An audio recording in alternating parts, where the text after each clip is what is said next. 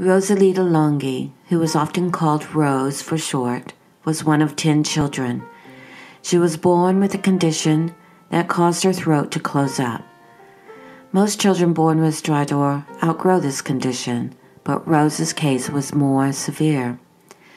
Ten days after being born, she had to undergo surgery to correct the tissue blocking her airflow.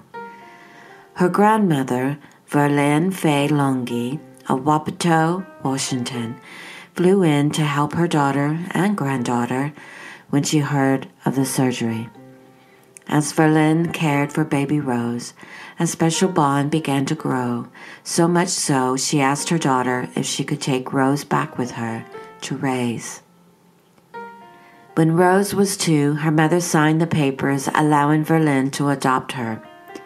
And so, Rose's story began with a new start growing up in Wapato with her grandmother, cousin, and soon after, a younger sister joined them. Wapato is in Yakima County, east of the Cascade Range. Yakima County is known for its apple, wine, and hops production. The Yakama Indian Reservation, the 15th largest reservation in the U.S., covers 36% of the county. 56.8% of the residents of Wapato are American Indian. Most of the residents work on the farms, making just enough money to provide for their families. Life was not always easy in Wapato. Growing up, Rose was the thoughtful child, the child who loved sweet notes for her grandmother, the child who was always smiling and happy. When Rose became a teenager, things began to change. She got mixed up with the wrong crowd and made choices that were not in her best interest. She dropped out of high school but intended to get a GED. She aspired to become a nurse, but like many teenagers, Rose became involved with drugs and alcohol. From the age of 16, she was in and out of treatment centers. Verlaine tried everything to help Rose. It wasn't long she began to stay with her boyfriend. Verlaine didn't mind her coming and going.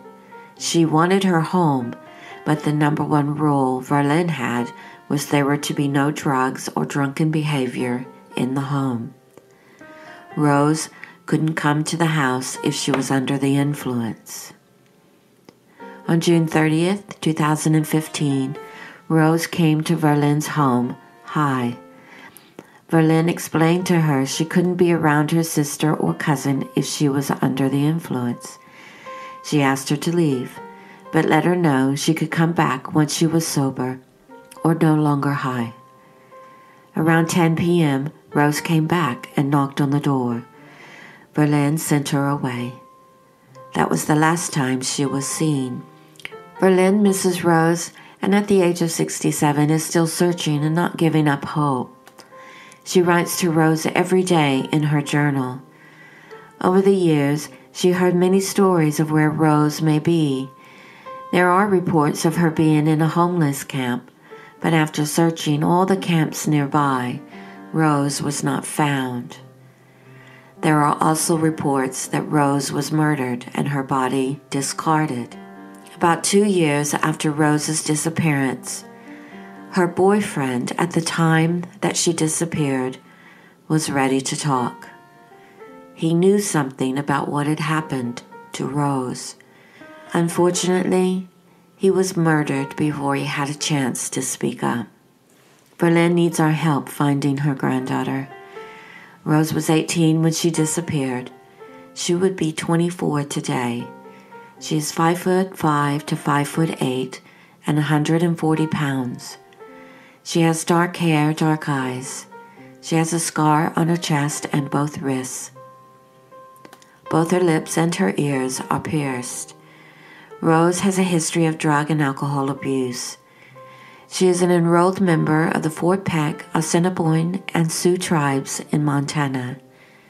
If you have any information on Rose's whereabouts, please call the Yakama Nation Tribal Police at 509 865 2933.